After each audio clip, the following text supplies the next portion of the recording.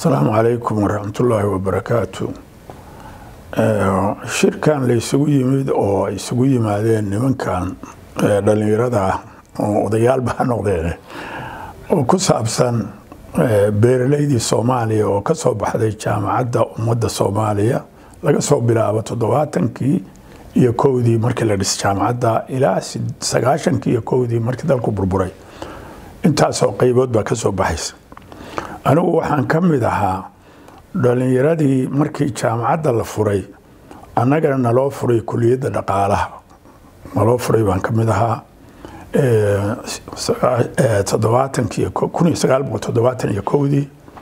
iyo waxay ahayd arrin taariikhi ay ahayd. Dhallinyaradii markaa soo baxdayna kulli dowladda meelo fiican bay ka wada gaareen. Anaa ka mid ahaa waxaan noqday duqa magaaladan soo maray. Waxaan soo maray shirkad maraakiibeed oo soomaaliya helenig la oran jiray. Waxaan soo maray xildhibaan ilaa toban sano intii ah. Waxaan soo maray wasiir ku-xigeenka gaadiidka badda iyo dekadaha markii u dambeysay oo dalku baaba-ayeyna waxaan ahaa guddoomiyihii somali airlines baan ah kabacdina dalku markii dhibaatadu gaadhay sidii dad kaleba bannaanka ugu soo baxeen caruurtii baan bannaanka la soo aadnay. Kabacdina waxaa nimid dalkan maraykanka. Haddana aan ku noolna. Shirkan aan ku magacaabi karo culimmadii beeraha ama dadkii soomaaliyeed oo beeraha wax u bartay waxa weeye shirkii ugu horeeyey oo professional dadah oo aqoon-yahana oo qurbajooga ay isugu yimaadaan weeye waa jireen shirar kale oo ah siyaasad oo qurbajooginta ah ama markii dalka dhibaatadu badan gaadhay oo nimankii dhallinyaradaha wadaadada ahaa iyo etoobiya iyo buuqaas lagu jiray. Dad badan oo isu yimid oo arrimaha ka hadli jiray waa jireen oo professional siyaasiyiin iyo dhaqaalayahan iyo wax walba.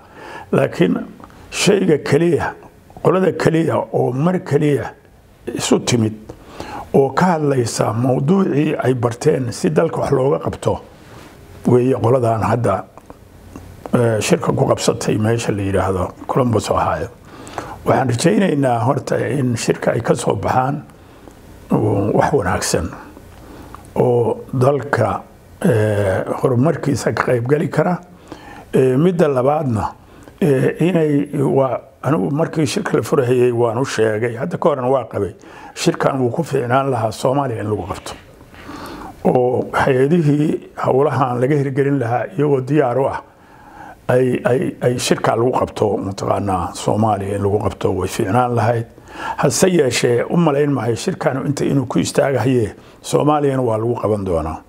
Go'aanada ka soo baxayna inay u gudbiyaan dalka oo isleeyihiin waxaasa saasa wax loo qaban karaa.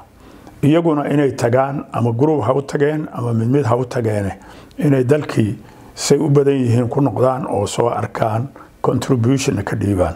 Waa mahadsanta